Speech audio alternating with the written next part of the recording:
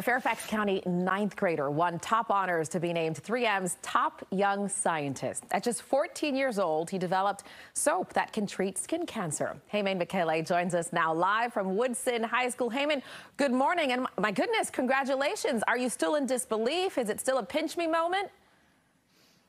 Thank you so much. It's so nice to be here. And yeah, it's still crazy. It's so, so, surreal to even think about it right now. So, so let me ask you: When you first uh, entered this competition, uh, why did you decide to participate in the first place? Did you have in mind what you were going to submit or do?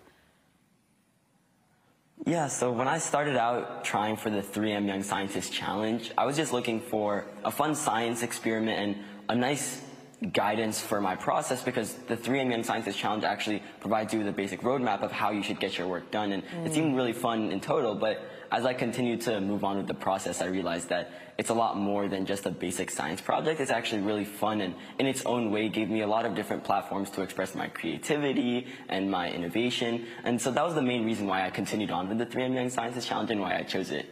What was, uh, how long was the process and what would you say was the most difficult part of all of it? So when it comes to the initial process of the entry video, it took about eight months for me to create wow. the idea, a basic prototype, and the video.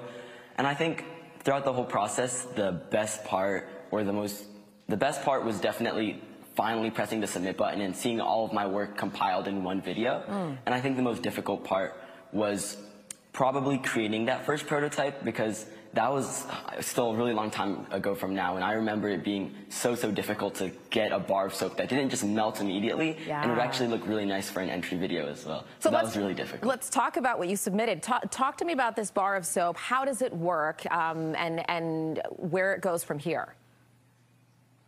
Yeah, so SCTS is a compound-based bar of soap. It's charged with cancer-fighting chemicals like imidazoquinolines to help treat the skin. As of right now, I'm planning on further commercializing SCTS, and by 2028, I hope to turn SCTS into a nonprofit organization where I can provide equitable and accessible skin cancer treatment to as many people as possible. You know, when I, Heman, when I see uh, uh, someone like you, I, I wonder, you had to have had people who poured into you, who believed in you. Um, for parents watching and kids watching, what would you say has contributed, and I say this with you being 14 years old, has contributed to, to your success?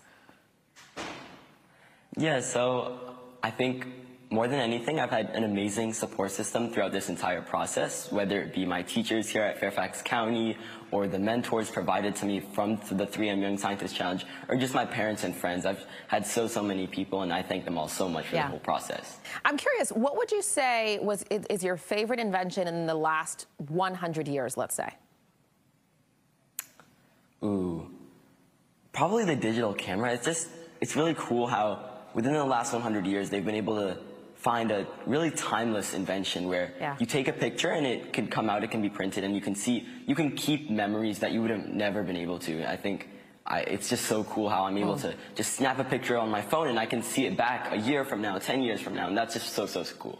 I, I, have a feeling that we'll be uh, crediting one of your inventions as one of the greatest in, in our time, certainly in the future. We are so, so proud of you and um, continued success. Thanks so much for joining us this morning. Thank you so much for having me. That is uh, Heman Bekele uh, joining us as the top young scientist in the country at just uh, 14 years old. Steve. Unbelievable. Congratulations. Job well done. I'm with him on the digital camera, the smartphone, maybe, things that uh, will be remembered for a very long time.